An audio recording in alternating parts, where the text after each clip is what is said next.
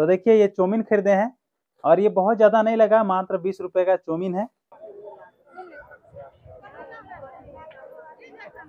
Hello दोस्तों, कैसे हैं आप लोग? आई होप कि आप सभी अच्छे होंगे। तो दोस्तों, देखिए, अभी तैयार हो गए हैं मार्केट जाने के लिए और आज है शनिवार तो आज हम लोग जा रहे हैं उर्गुटू मार्केट, जो कि पिठोरिया से लगभग 10 किलोमीटर दूरी पर पड़ता है। तो कुछ भी सामान खरीदना है तो हम लोग जा रहे हैं, क्योंकि अभी हम लोग को और भी एक जगह निकलना है तो अभी बारह बज चुका है, बारह बजे ब्लॉग स्टार्ट कर रहे हैं। तो आप लोग को मार्केट भी दिखाएँगे कि मार्केट किस प्रकार से आज लगा है और हम लोग जो भी खरीदेंगे वो सभी चीज़ों का आप लोग को दिखाएँगे।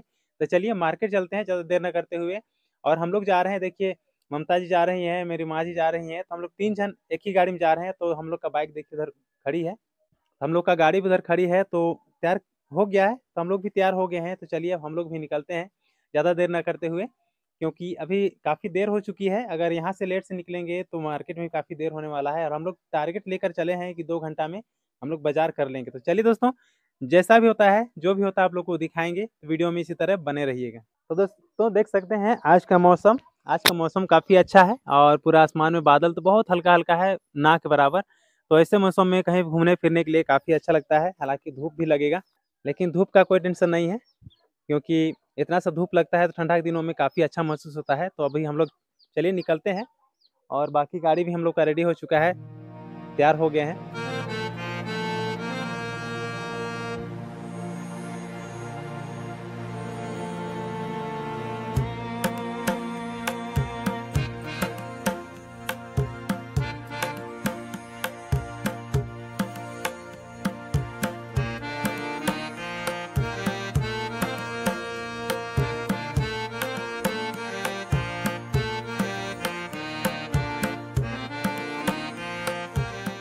तो दोस्तों, हम लोग मार्केट पहुँच चुके हैं और ये है उर्गुटू बाज़ार।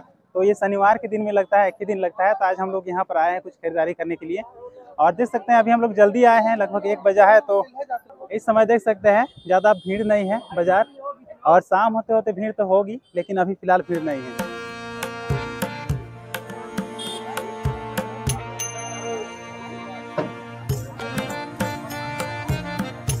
तो दोस्तों, हम लोग यहीं से अंदर जा रहे हैं और इसी रास्ते से हम लोग अंदर जा रहे हैं। तो माँ को यहाँ के बारे में, यानी कि इस बाज़ार के बारे में, हर दुकान के बारे में लगभग मालूम है। तो माँ के साथ में आए हैं। ममता जी के लिए भी कुछ ख़रीदारी करना है, मेरे लिए भी कुछ ख़रीदारी करना था। और जहाँ हम लोग मेहमानी जा रहे हैं तो वहाँ के लिए भी कपड़े वगैरह और कुछ सामान हम लोग ख़रीदारी करने के लिए आए हैं। तो भैया का दुकान यहाँ पर काफ़ी अच्छा लगा तो यहाँ पर हम लोग रुके।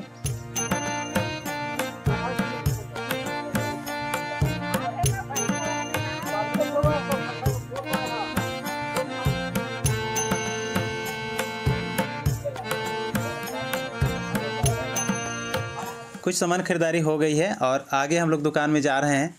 और क्योंकि आज भीड़ भड़ाका नहीं था, इसीलिए हम लोग बड़े आराम से घूमते घूमते सभी सब खरीदारी कर रहे हैं। और कपड़े की दुकान से हम लोग स्टार्ट किए तो कपड़े वगैरह खरीद लिए हैं। और बाकी अब हम लोग का विचार है कि सब्ज़ी की दुकान तरफ़ जाने का। तो फिर भी यहाँ पर देख लेते हैं, ममता जी का कुछ कपड़े वगैरह खरीदारी करने थे तो वो देख रहे हैं। उसके बाद फिर हम लोग सब्ज़ी खरीदेंगे, उसके बाद में घर चले जाएँगे।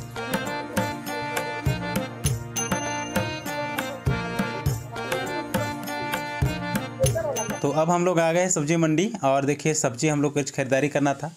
तो गोभी हम लोग पूछे तो एक एक पीस जो है ना, एक एक के जी का है। तो इसे पच्चीस रुपये बोल रही हैं। तो हम लोग एक दो गोभी ले लिए हैं, एक दो किलो का। और बाकी जो खरीदारी करना है वो आगे पूछेंगे।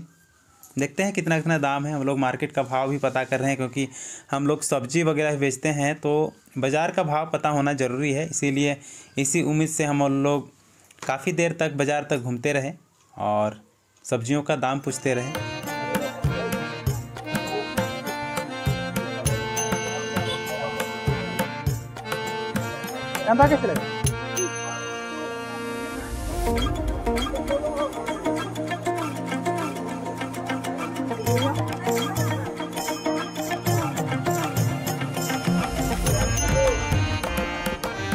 तो दोस्तों, पिछले बार आए थे उसमें काफ़ी ज़्यादा भीड़ था, लेकिन आज थोड़ा जल्दी आए हैं, आज शायद भीड़ नहीं होगा।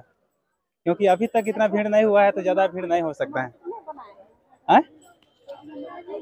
तो दोस्तों देख सकते हैं इस तरह से मार्केट लगा है, काफ़ी बड़ी बाज़ार है ये वाला।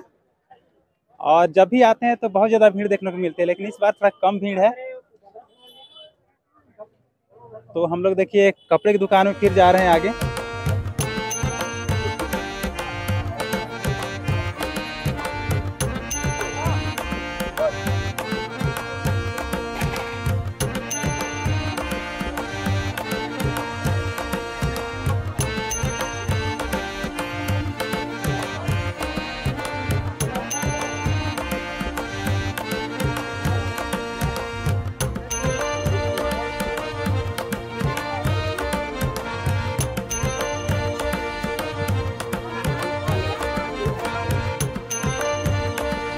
तो दोस्तों, हम लोग बाज़ार कर लिए हैं और जितना भी खरीदारी करना था, सभी कुछ खरीद लिए हैं। अब हम लोग निकलने का समय हो गया तो निकल रहे हैं। अब घर की ओर चलते हैं। और देखिए, बाज़ार अभी लगने का समय है। अभी काफ़ी भीड़ होगा शाम में तो अभी टाइम हुआ है दो बजे है तो दो बजे अभी ज़्यादा भीड़ नहीं है। तो हम लोग का बाइक देखिए स्टैंड इधर किए हैं। तो बाइक पहले निकालते हैं, उसके बाद में घर चलेंगे। तो दोस्तों, अभी हम लोग घर चलते हैं, क्योंकि जो मार्केट करना था मार्केट कर लिए, घूम लिए। और काफ़ी अच्छा लगा आज का बाज़ार, क्योंकि ज़्यादा भीड़ भी नहीं था। और जो भी खरीदारी करना था आसानी से हम लोग खरीद लिए हैं। तो अब यहाँ से बाइक स्टैंड से गाड़ी निकालते हैं और घर की ओर चलते हैं।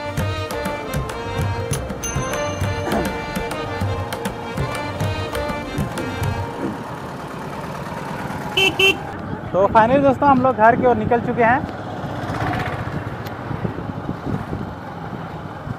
और देख सकते हैं रास्ता पूरा खाली खाली है। अभी ठीक मार्केट लगने का समय है, क्योंकि ठीक दो या तीन बजे से ये बाज़ार लगता है और सुबह में एक बार लगता है, यानी कि जितना सुबह में आप अगर बकरी, मुर्गा या जानवर वगैरह खरीदने के लिए आते हैं, जैसे कि बैल, भैंस, ये सब तो गाय, भैंस के लिए जो मार्केट लगता है, सुबह में ही लगता है।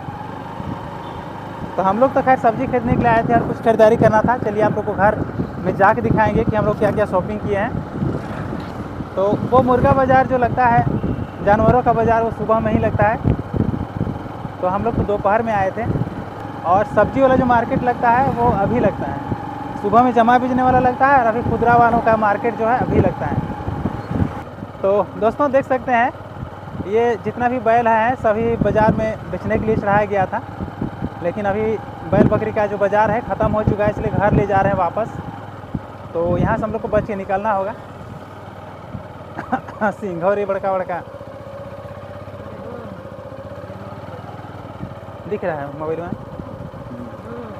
देखिए, रास्ता कितना खाली खाली है और अच्छा लग रहा है जाने, आने में भी। और स्कूलिया बच्चे लोग भी जा रहे हैं तो हम लोग भी चलते हैं। अच्छा लग रहा है अभी जाने में। और धान भी देखिए, दोनों तरफ़ पका हुआ है। सफ़र करने में भी काफ़ी अच्छा लगता है आज के समय में, जब हम लोग मार्केट से होके जाते हैं तो। तो ये रास्ता काफ़ी अच्छा है और ये बीच वाला है। तो हम लोग जिधर जा रहे हैं, आगे वाला जो है, बस्ती है कटमपुली अभी हम लोग। घुसेंगे कटमपुली होके फिर तारुक जाएँगे, मेरा गाँव आएगा।